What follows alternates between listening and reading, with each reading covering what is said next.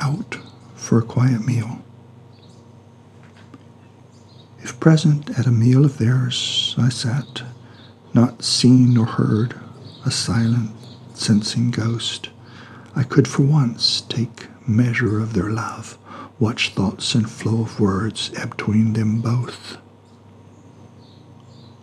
Would they, in silent staring off, sit there, their wells of sharing dipped bone dry at last?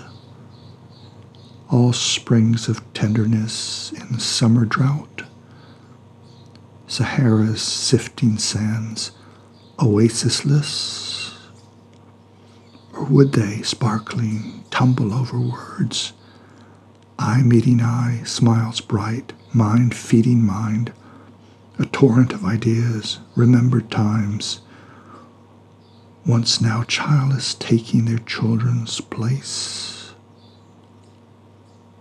A little mouse I'd be, a peeping toad, a picture on a wall with roving eyes, a ceiling spider hanging o'er their bed, to quell my doubts, quench envy from my head.